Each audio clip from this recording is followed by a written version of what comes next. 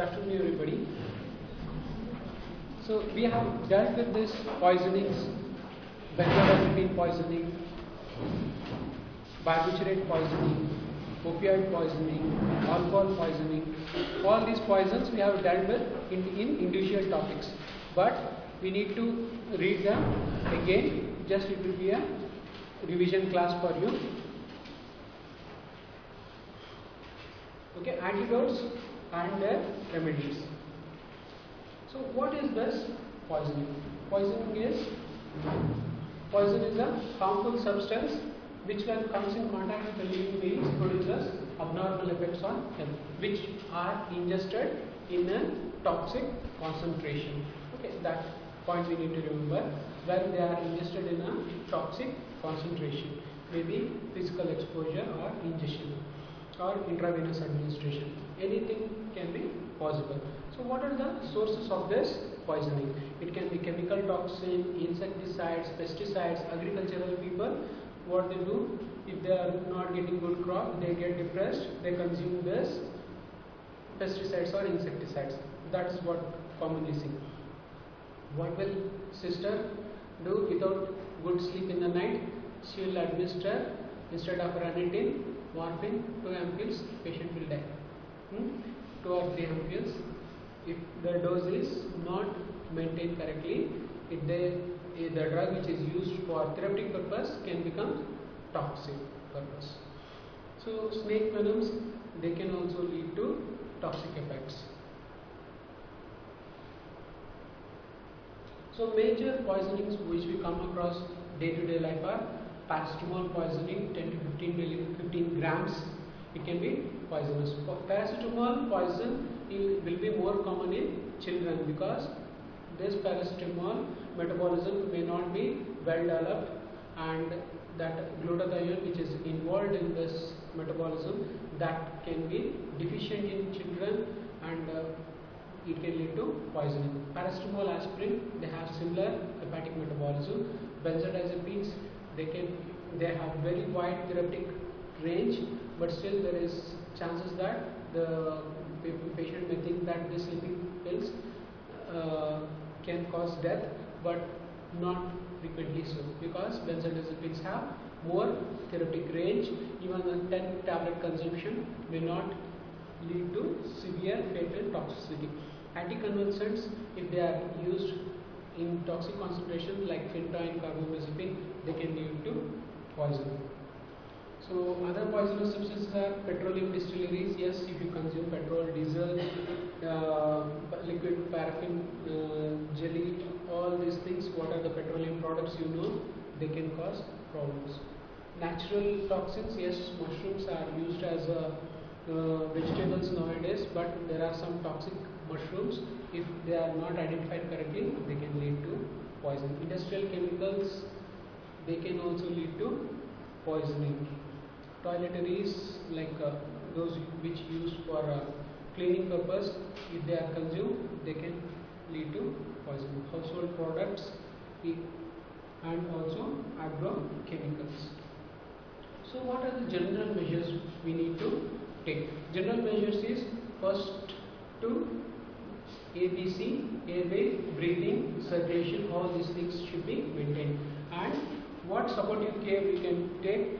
First is circulation, circulation airway. Correct hypoxia, we can give oxygen or make the airway patent. If there are secretions, we need to suck the secretions, we make the airway patent. Once the airway is made patent, we should secure a IV line. Okay, we, we have to go for the blood pressure measurement. If it is not normal or less, we can go for a securing IV line, starting them with the IV fluids, may be RL or normal saline initially. Then, if the patient is not diabetic, we can go for DNS. And uh, if the patient is having this uh, hypothermia, hypothermia it is more common in children okay babies if they are uh, having some disease they can go for hypothermia or hyperthermia both are dangerous in babies hypothermia we need to keep the baby in the warm condition or in the radiator and if it is hypothermia we can give this mopping so that the temperature is decreased. We need to control seizures. Okay, if it is benzodiazepine or bar barbiturate poisoning, they can lead to seizures, opioid poisoning, or alcohol withdrawal. All these conditions, the patient can have seizures. So, in order to control seizures or status epilepticus, we can go for injection, diazepam, and other drugs. If the patient is comatose, he is not able to speak, okay, he is in coma, he is not able to speak, attendants are uh, not knowing what has happened, we can think of giving dextrose, oxygen, naloxone and thiamine. Dextrose can help if the patient has gone for hypoglycemia, oxygen will help if the patient was in a uh, some uh, fire accident has there and he has consumed a lot of carbon monoxide our oxygen can help. Naloxone can help if the person has consumed lot of opioids and thiamine can help in patient who has gone for alcohol intoxication. So we need to monitor pulse rate, blood pressure, ECG and oxygenation maybe like 4 to 5 liters and generalized status.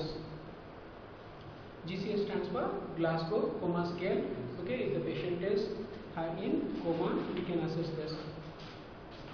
General measures are first we need to decrease the absorption. Decrease the absorption means we need to remember organophosphorus poisoning. If it is the pesticide is spilled on his clothes, on his body, we need to remove their clothes and prevent the further exposure because organophosphorus poisons they can be absorbed from the skin and mucous membrane also.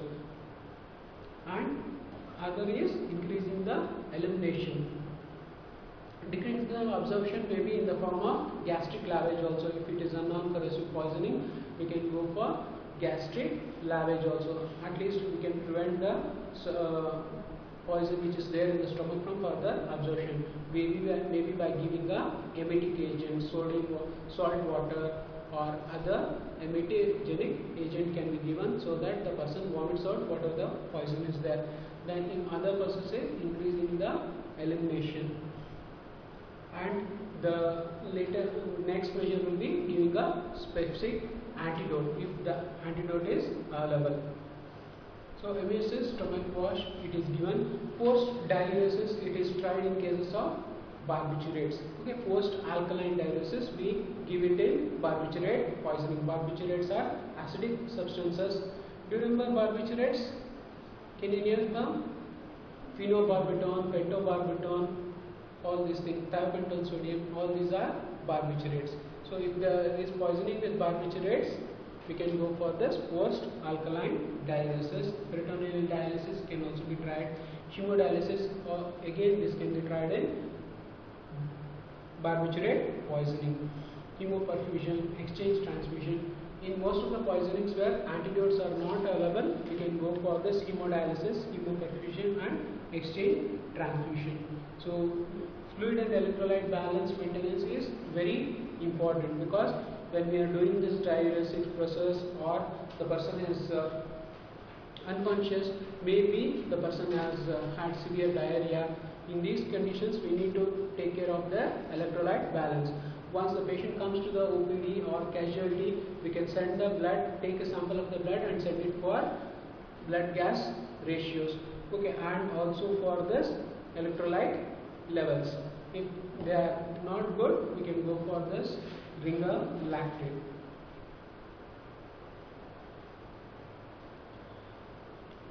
Primary therapy for specific antagonism, what we need is direct chemical antagonism, acid base.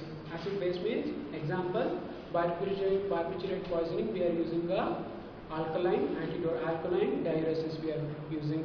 Okay, uh, like uh, uh, heparin, we have protamine sulfate, highly acidic and highly basic thing. And uh, receptor competition, like uh, for example, nalorphine in morphine overdose, atropine, organophosphorus, they can also be there. Histamine, adrenaline, these are all physiological antagonists. Blockade of the receptors that cause toxic effects, for example, in atropine, atropine and organophosphorus poisoning, flumazenil in benzodiazepine poisoning. but in barbiturates we do not have an antidote. We should go for hemodialysis. For benzodiazepines we have an antidote that is flumazenil. So restoration of the normal function it can be by use of the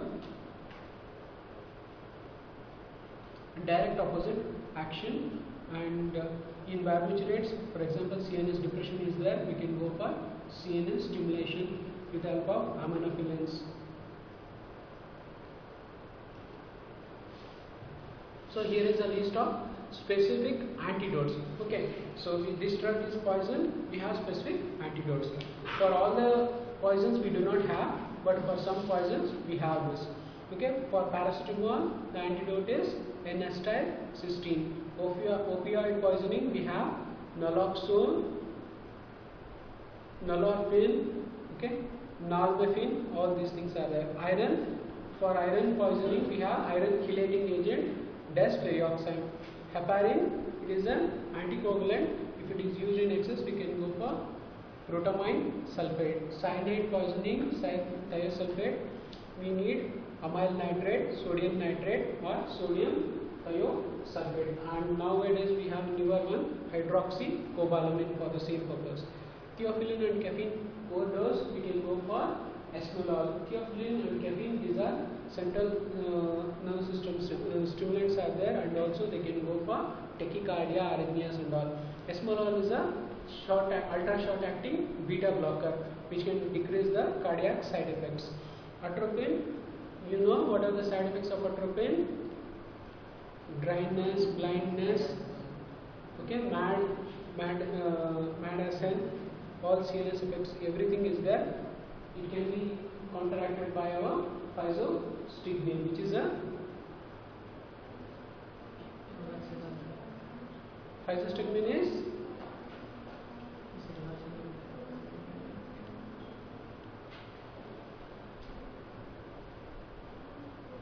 it prevents the metabolism of acetylcholine. That means what?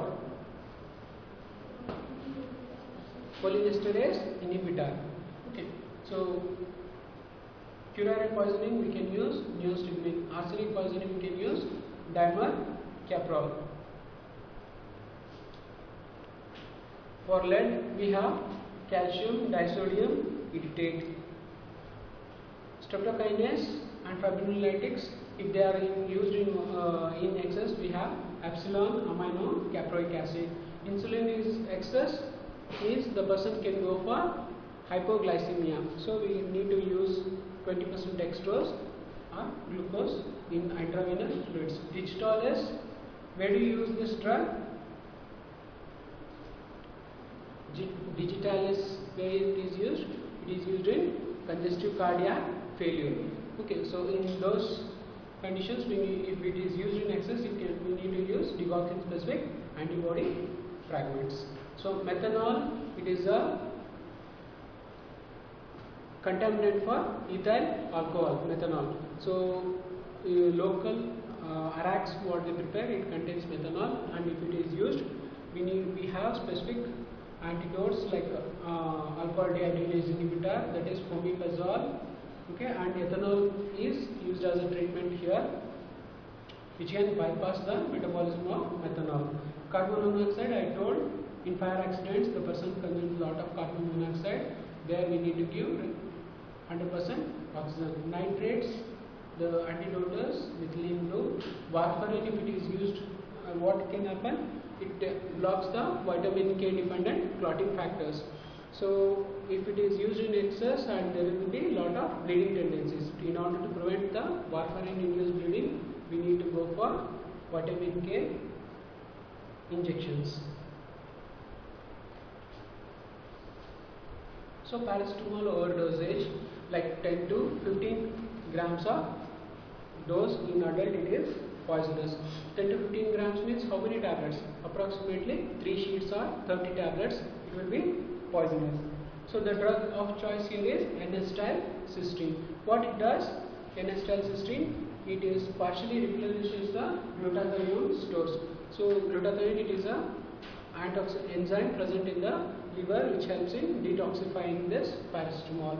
and once this NSAID cysteine is used, it helps in replenishing of the glu- glutathione stores and prevents the toxic metabolites from binding into cellular constituents. So it is it effectively prevents the hepatotoxicity. Only thing is it should be given as early as possible within 8 hours. Barbiturate poisoning, we do not have an antidote. Okay, the specific antidote for barbiturate poisoning is not there, so we can go for symptomatic treatment. So in barbiturate poisoning, we can go as it is an acidic poison, we can go for alkaline diuresis. And uh, the fatal dose here is 6 to 10 grams. We can go for this stomach wash with activated charcoal to prevent the further exposure. Then, if the patient is severely, uh, patient has severe symptoms like uh, mental depression, all the signs are there, we can go for the hemodialysis.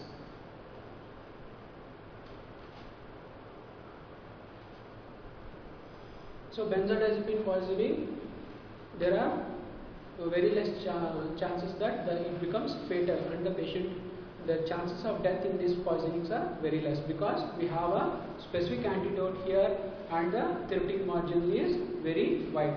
If even the patient consumes more than 5 tablets up to 10 tablets, the patient will not die. Only symptoms of CNS depression will be there that can be monitored and uh, antidote will take care of the rest of the symptoms. So the drugs which are commonly used are for sedative purpose. These are diazepam, lorazepam, midazolam.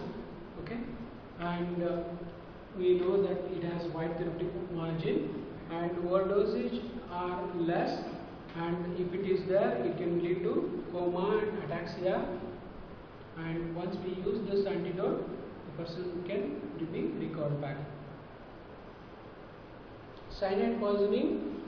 What is important in the cyanide poisoning compared to the previous poisons like paracetamol, benzodiazepine, barbiturates? What is important here? The patient will die immediately in cyanide poisoning. You remember this? When was it famous?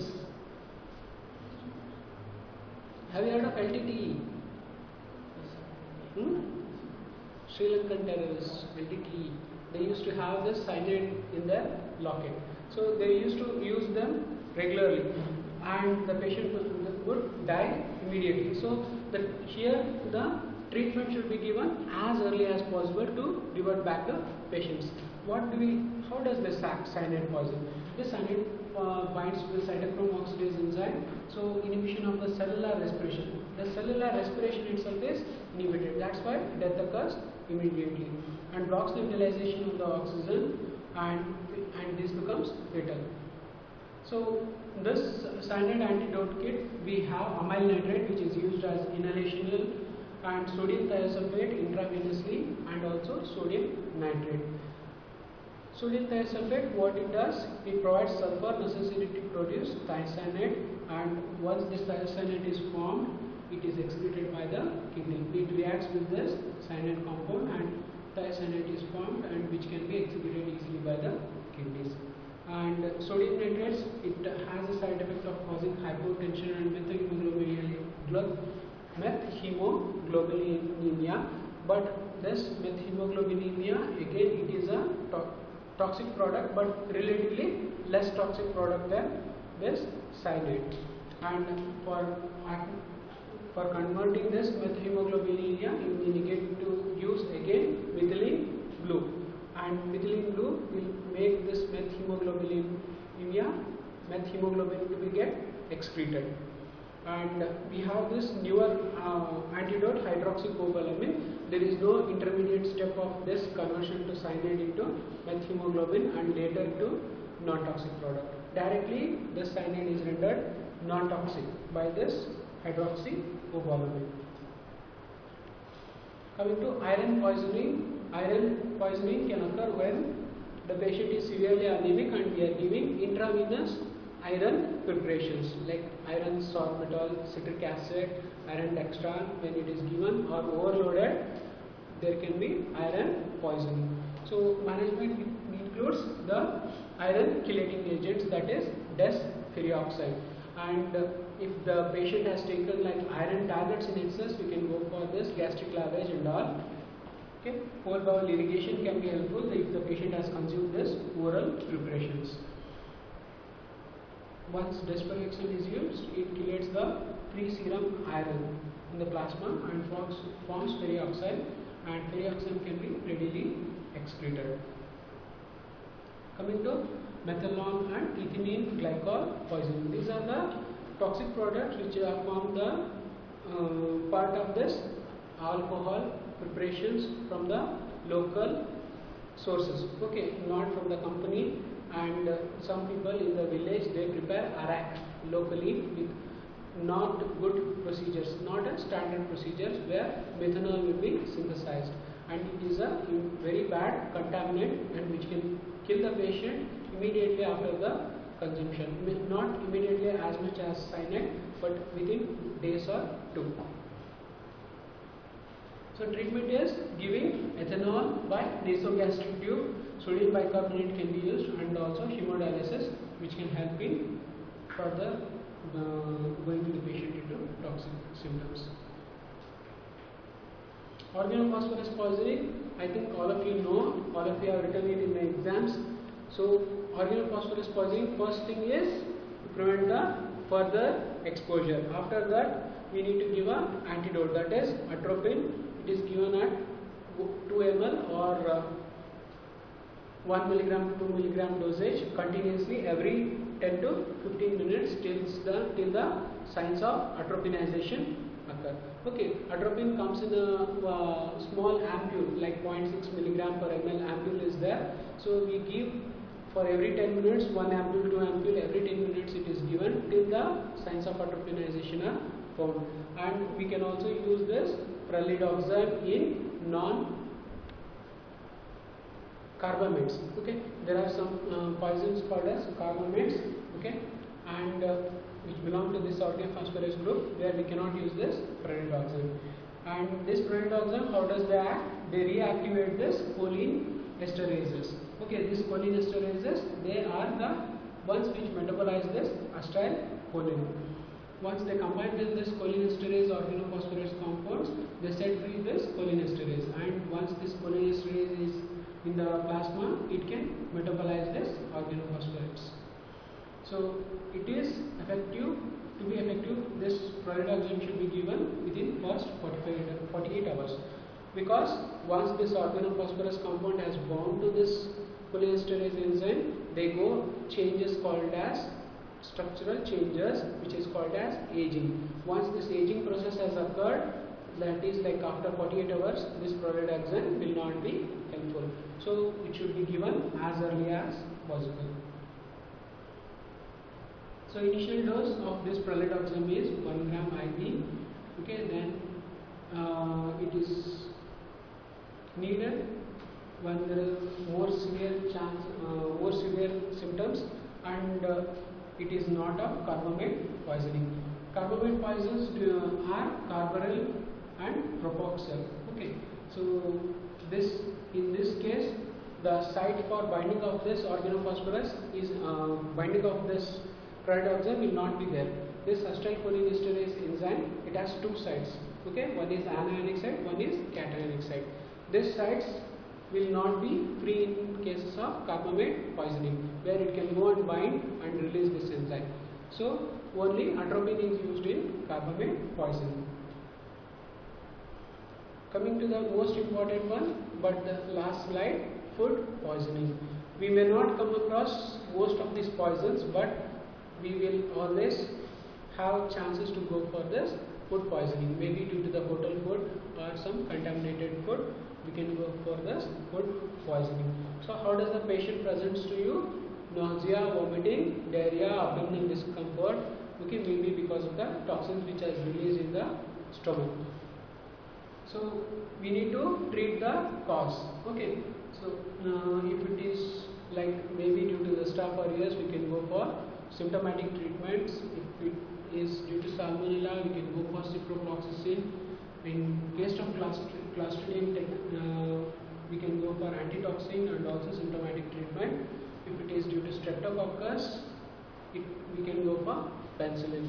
E. coli, we can go for ciprofloxacin and if, uh, it may be due to chemical toxins like arsenic and lead, we can go for symptomatic treatment. The thing is, we cannot take this, okay, the person is vomiting now, person is having diarrhea, we cannot take the blood samples at this stage and go for this examination. So what we do, we go for universal management. Universal management are containing general measure.